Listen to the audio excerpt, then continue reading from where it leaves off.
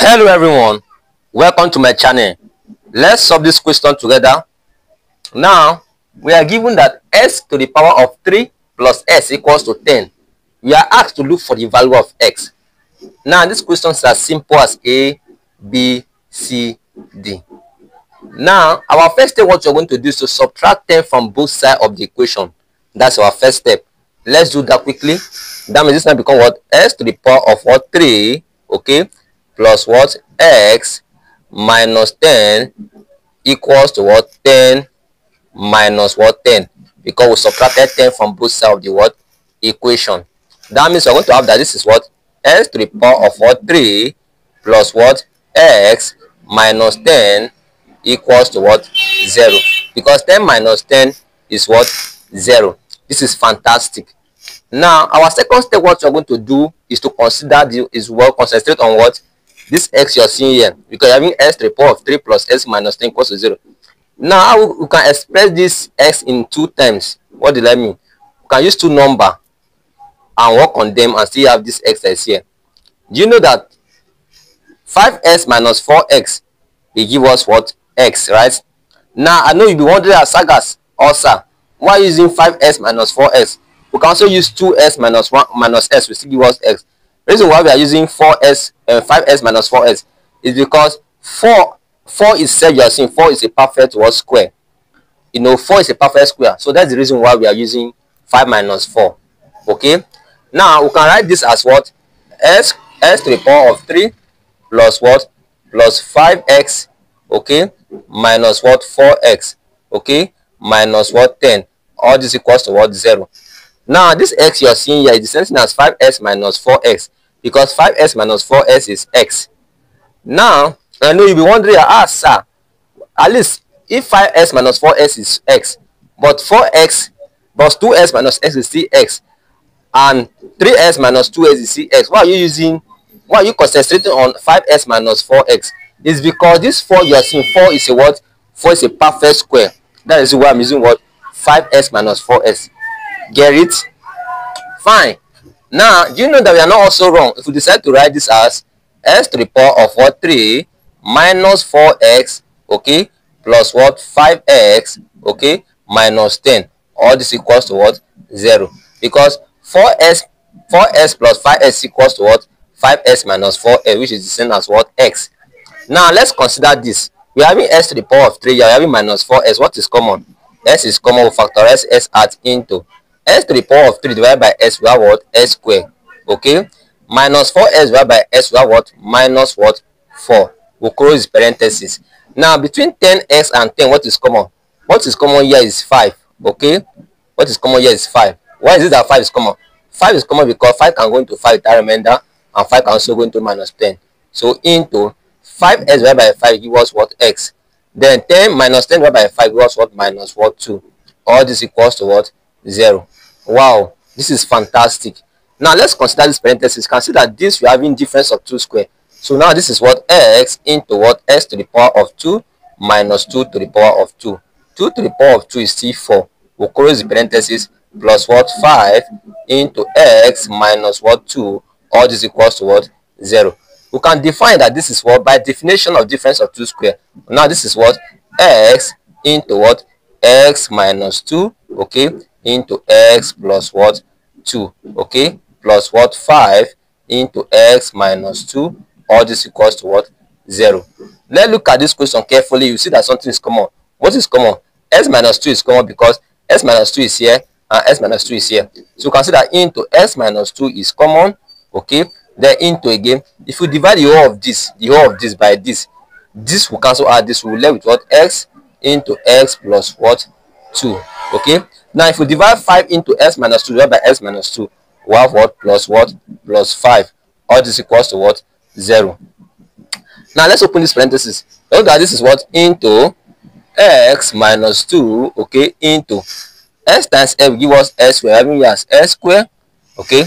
X times 2 have what? Plus 2x so is 2 plus 2x then plus what? 5 plus 5 all this equals to what? 0 now understand that when the product of two terms is equals to 0 it means that each of the parentheses is equals to 0 or you can see that both of them are equals to 0 so that means x minus 2 is equals to 0 or x square plus what 2x plus what 5 is equals to what 0. From here, let's add 2 to both sides because this is linear equation. This is what quadratic what equation. So let's add 2 to both sides or let's add 2 to both sides. That means s be equals to what 2. This is the one of the value of s that satisfy this equation. Let's check whether when s equals to 2 satisfy this equation. If here is 2, 2 to the power of 3 is 2 times 2 into 3 places which is 8 and a plus 2 is what? Because here is 2, a plus 2 give us 10. We are correct. s equals to 2 is one of the perfect solution to this problem. Now from this, from what? From, from s square, okay, plus what? 2x plus what? 5 equals to what? 0. Now this is what quadratic what? Equation. Now let's solve for the discriminant. Discriminant of d is equals to what? b square, okay, b square plus minus what? Square root of, sorry, sorry, sorry. Because let me just first of all define the definition of, that means s will be equals to minus b plus minus the square root of what? Square root of what? b square, okay, minus what? 4ac all over what? All over 2a that means the discriminant will be what? D equals to B square minus 4AC. Now, from the equation here, we know that our A is equals to what? 1. Because the equation S square here is 1. Then our B will be equals to what? 2. And our C is equals to what? 5. Now, that means D is equals to into B is what? 2 square minus 4A. A is what? 1. And C is what? 5. Okay, that means the discriminant will be equals to 4 okay minus what 20 okay because because that 4 times 1 is 4 minus 4 times 1 is minus 4 minus 4 times 5 is minus 20 that means this will be equals to what minus what 16 okay all right now let's remove this from here let's remove this from here.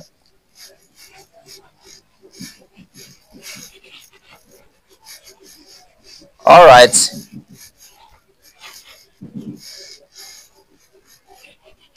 Okay.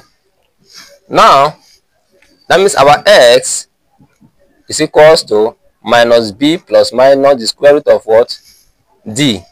Because d is the discriminant you can see it from here. Now divided by what? Divided by 2a that means s will be equals to b is what? B is 2 so this will be what? Minus 2 right? Minus 2 plus minus the square root of what? Now minus what? 16 minus what? 16 divided by what? Divided by 2 times 1 so 2 times what? 1 okay?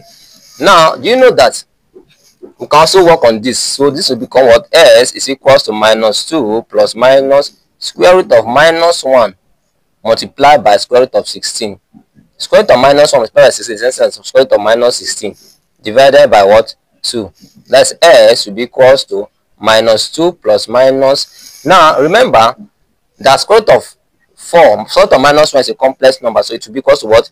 Imaginary unit, which you should note that, note, okay, note that square root of minus 1 is equal to what? I, which is complex what unit.